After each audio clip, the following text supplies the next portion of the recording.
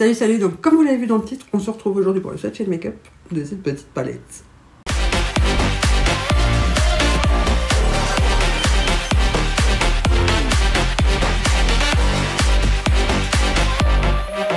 Donc ça fait quelques fois que j'enchaîne avec du nude euh, et du marron et tout ça, donc on peut repasser un peu à du vert.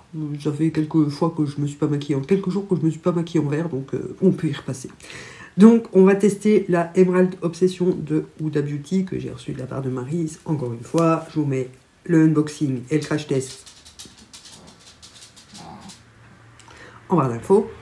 Et on va tester ça. Donc j'aime beaucoup Huda Beauty, c'est une marque que j'aime beaucoup pour beaucoup de choses. Euh, je trouve qu'elle est vraiment très innovante euh, comme marque.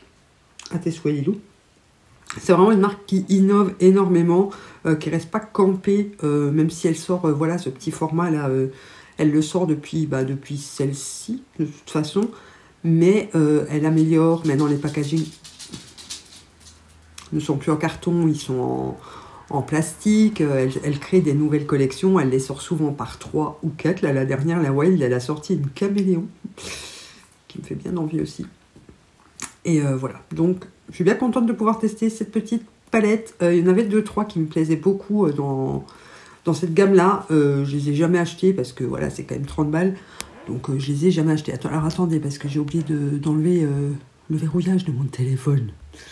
Alors ça fait que je vois pas le temps d'enregistrement. Donc voilà. Et eh ben écoutez, voilà, je vous laisse tout de suite avec les swatchs, je me rapproche et on attaque notre make-up vert.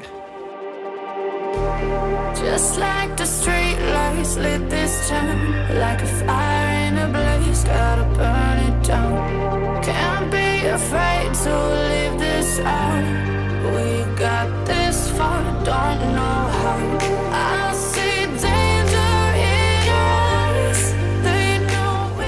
Alors, alors, alors, euh, je vais commencer avec un pinceau boule de toute façon. Et je vais commencer avec la teinte. Alors, attendez, je dégage la touffe déjà pour commencer. Alors, il n'y a que trois matins dedans. Donc, euh, les possibilités, euh, c'est déjà limite, limite. Hein. le make-up que j'ai en tête, c'est très ressemblant à celui que j'ai envie de faire avec la Beauty Bay. Euh, bon, écoutez, je prends un pinceau boule et je vais commencer avec ce vert-ci. De toute façon, on va utiliser trois mats. Hein. On ne pourra pas utiliser tous les lumineux, mais on va utiliser les trois mats. C'est ça qui est dommage, c'est que ça manque de, de quoi, ces petites palettes. Après, c'est les lumineux hein, qui sont euh, d'enfer chez, euh, chez Beauty. Alors, je vais le mettre déjà pour commencer sur les trois quarts de mon creux. Ouais, trois quarts, j'ai dit, pas moitié commence déjà tout doucement à estomper le bord. Je fais tout le tour de mon yeux.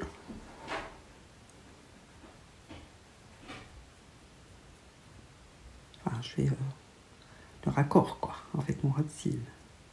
Il tire plus sur le bleu hein, que sur le vert. Je trouve qu'il fait très bleu quand même hein, pour un, vert, parce que là, dans le pan, il a quand même l'air vert, euh, vert sapin c'est un bleu canard, on est d'accord, mais il tire plus sur le vert que sur le bleu. Bref. Alors, je vais prendre un pinceau euh, boule un peu plus précis. Et je vais prendre la teinte euh, kaki, ici en dessous. qui a l'air d'être un peu kaki, marron kaki, comme ça. Pour euh, achever mon creux.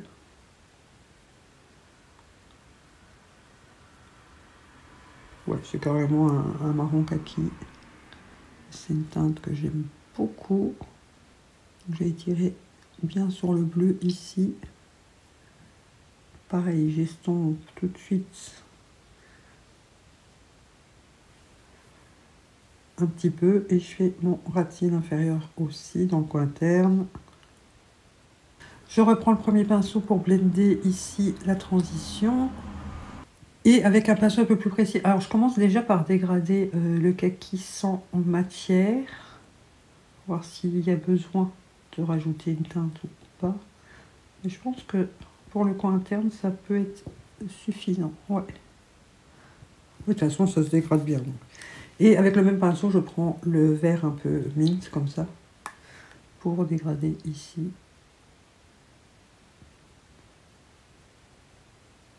Tout le tour du, du bleu vert, là, qui fait plus bleu que vert. Un petit coup d'estompeur propre comme d'habitude.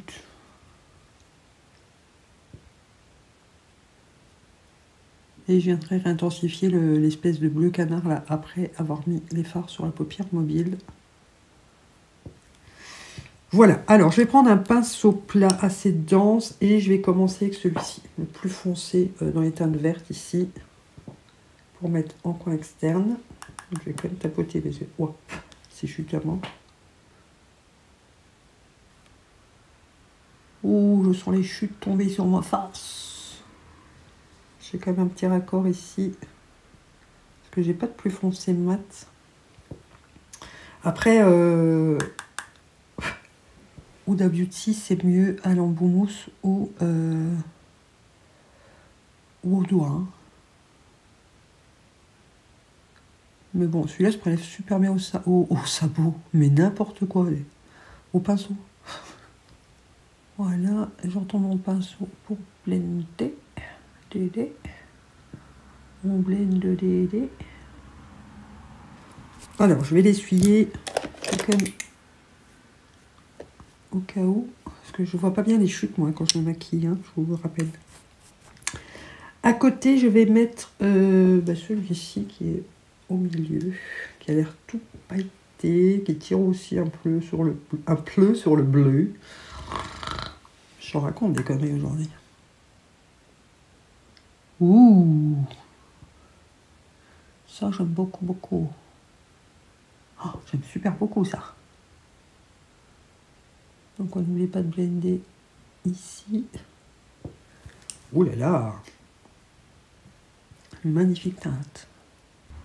Je sens les chutes dégoulinées. Avec un pinceau un petit peu plus précis, je vais terminer ma paupière avec celui-ci. Là.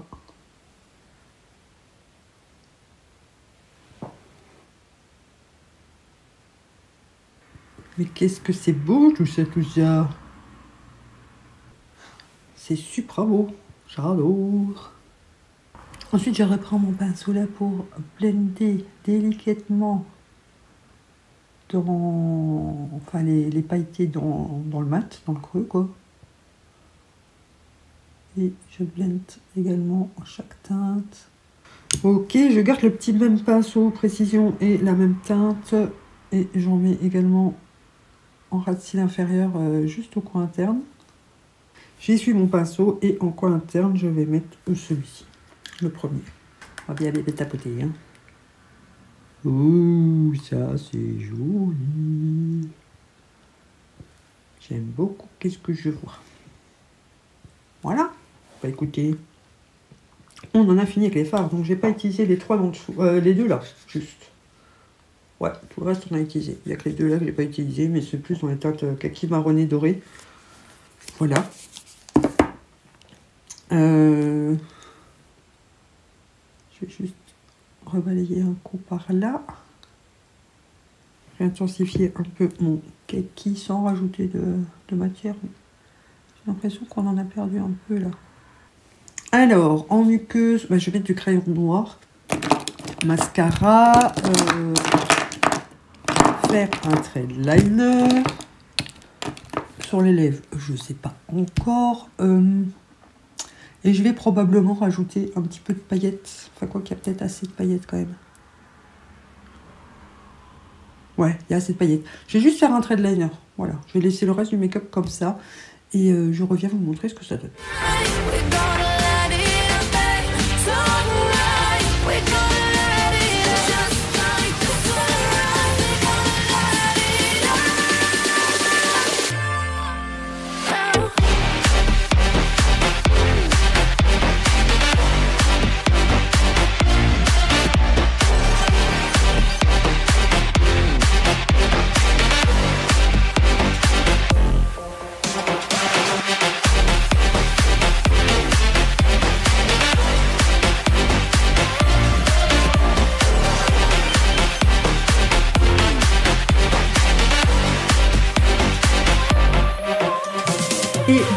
Le look final avec cette palette. Alors oui, je me suis euh, quand même euh, emportée. Euh, voilà. En fait, j'ai juste voulu faire un petit trait de liner blanc ici parce que J'avais un petit peu foiré mon liner, il y avait juste une petite égoulinure. Donc pour la camoufler, j'ai fait un petit trait blanc de chaque côté et puis j'ai fini par faire trois petits points en coin interne. voilà, tout simplement. Mais vous savez qu'une fois que je sors mes liners, je fais des petits points.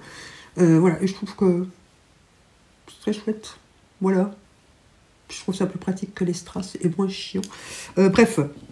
Donc sur les lèvres, j'ai mis euh, le crayon Charlotte Tilbury et le gloss Charlotte Tilbury euh, Pillow Talk. Je commence à en voir le bout, hein, ce petit gloss là. Mhm. En même temps, ça va faire un an que je l'ai puisque je l'ai reçu à Noël l'année dernière. Donc voilà. Et sur en liner, j'ai utilisé ma palette de chez AliExpress. hein, je vous mets le lien en barre d'infos. Bref. Bon, cette petite palette, ben, j'aime beaucoup forcément. Déjà, c'est Huda Beauty, c'est une qualité que j'aime beaucoup. C'est une personne aussi que j'aime beaucoup. Euh, pas que je la connaisse personnellement, hein, bien sûr, mais euh, voilà, je trouve que professionnellement euh, et, tout ça, c'est quand même un, bel exemple à suivre puisque c'est une marque qu'elle a élaborée elle-même. C'est pour ça qu'elle est un peu plus chère que les autres. C'est une marque indépendante, je vous le rappelle. Le grammage, bien évidemment, je ne sais absolument pas lire. Je sais même pas si c'est noté. Euh, je ne crois pas. Oui, je cousse. Je, cou- je, je je suis palate. Euh, je ne vois pas que c'est noté. C'est une palette à 30 euros, hein, grosso merdo, euh, 29,90 euros ou 99, je ne sais plus. Vous pouvez encore les retrouver, il me semble, hein, celle-ci, sur Sephora ou des choses comme ça. Et voilà, j'aime beaucoup. Les deux seules teintes qu'on n'a pas testées, c'est les deux ici. Ben, c'est plus dans du doré, donc je suis un peu moins fan, moi, de, doré. Je crois que vous commencez à le savoir, même si ce genre de kaki doré, j'adore. Cette teinte-ci, j'aime beaucoup, beaucoup, beaucoup. Je, crois que c'est celle que je préfère en mat et euh, j'aime beaucoup la lumineuse ici, là, au centre. Oh, c'est ça que j'aime pas avec le gloss, les se collent dedans. Euh, et celle-ci, là, pour le coin interne, euh, voilà, celle-ci, non, celle-ci en coin interne, celle-ci qu'on a, qu'on a mis ici. Bref, j'aime beaucoup. Voilà, donc Marise, encore une fois, merci. Encore une fois, des jolies découvertes. Euh, j'avais jamais testé cette gamme-là. Euh, les petites palettes, de façon, de chez Huda, j'avais jamais testé euh, jusqu'à maintenant. Là, c'est déjà la deuxième que je teste et j'aime beaucoup. Par contre, je ne trouve toujours pas que la qualité soit différente par rapport aux grandes. Voilà, je sais qu'il y en a beaucoup, beaucoup qui le disent. Moi, je ne vois pas de différence. Je trouve que c'est une très bonne qualité de fard, que ce soit dans les petites palettes ou dans les grandes. Voilà, rien à reprocher à la qualité de fard de Huda Beauty. De toute façon, elles, son point fort, c'est vraiment les lumineux. Euh, ça, il n'y a pas de doute, sont toujours plein de reflets. Surtout les plus récents. hein. Là, c'était les premiers qu'elle avait sortis. euh, euh, Enfin, pas les premiers, hein, mais voilà. C'était dans les premières collections. Mais ils sont quand même déjà bourrés de reflets. Et au fil du temps, elle améliore justement parce qu'elle sait que c'est son fort. Et voilà. Et ses brosses de lèvres aussi, j'aime énormément. Les produits teints, j'ai jamais testé parce que c'est beaucoup trop cher pour mes moyens financiers et mon, ordre de, prix de produits. Mais euh, pourquoi pas tester une fois. euh, le fond de teint m'intéresse pas trop. Enfin, quoi que non, les, les produits teints m'intéressent pas plus que ça chez elle. Non. Voilà, bref. Donc voilà, ce qui conclut cette vidéo. N'oubliez pas de laisser le petit pouce en l'air, de vous abonner si c'est pas encore fait. On se retrouve de toute façon demain. Et en attendant, moi je vous dis bisous bisous.